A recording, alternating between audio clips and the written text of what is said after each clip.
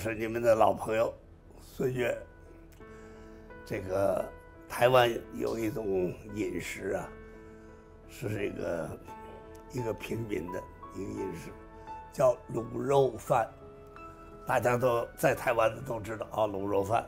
哦，外地来的，有的时候当地人都带他们吃吃，尝尝看。你看看我们这个这个卤肉饭的这滋味，每一个不同的区域。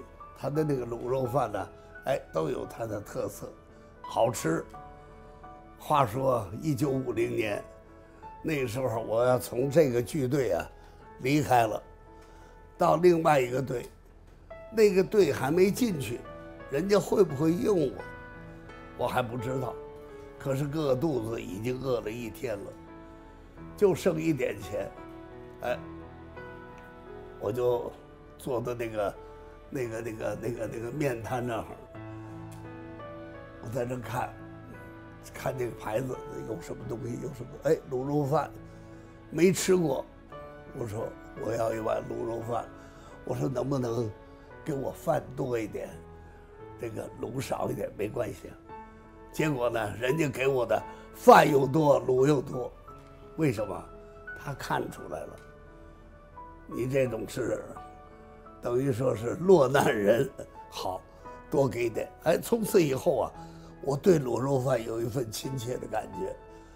它不只是一个纪念，而且是好吃，走哪儿吃都好吃。那现在有一天，隔了，就是最近的这个这这几天里头，哎，我又去去另外一个馆子，到那儿去了，我一看，卤肉饭。